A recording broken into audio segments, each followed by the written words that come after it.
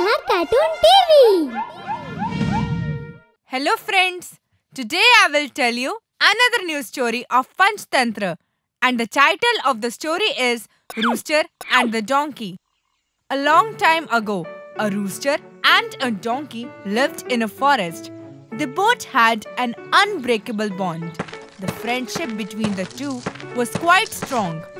Both helped each other in difficult situations. One day, Rooster and the donkey have gone far away from the jungle in search of food and they saw a lion was there just a short distance away. Both got very scared to see a lion. Before lion's eyes caught both of them, they both hide behind the bushes.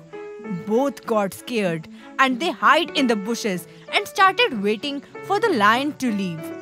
After a while, he noticed that a goat was grazing in the front field. The lion also saw the goat and started putting his steps towards the goat. Seeing the goat in trouble, the rooster says to the donkey, Friend, look at that. The lion is going to hunt that goat. We should help him. The donkey said, Dechoo, Dechoo. How can we help that goat? This lion is dreadful. He will kill us. At this point of the donkey, the rooster says, It's better to try at least once rather than not doing anything. As soon as the lion was about to grab the goat, the rooster started crowing very loudly. Suddenly, the lion got frightened by the loud sound of the rooster and ran away. Donkey was very happy to see the intelligence of the rooster. He got an idea. Wow! This lion got scared by a little rooster. Why don't I shut him out of the forest?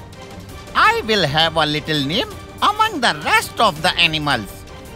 Thinking of this, the donkey starts running after the lion.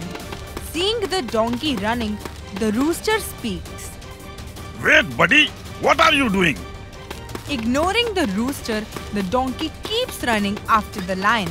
He got excited and the donkey kept on trying to frighten the lion. When he heard the sound of a donkey, the lion looks back. Then he realized that it is not a dangerous animal but a donkey. Lion got very angry on himself. What is this? I was running away from a donkey. There are endless number of donkeys that I have hunted. He is more stupid from those who is running after a lion. Now he will not going to be spared. Before the donkey can think of anything, the lion catches him and ruthlessly kills him. Donkey has been killed because of his stupidity. So, friends, the moral of the story is that self confidence is good, but overconfidence is always harmful. If you enjoyed this video, do like, share and comment and to be the first person to watch our videos, make sure to subscribe the channel and press the bell icon for timely notifications.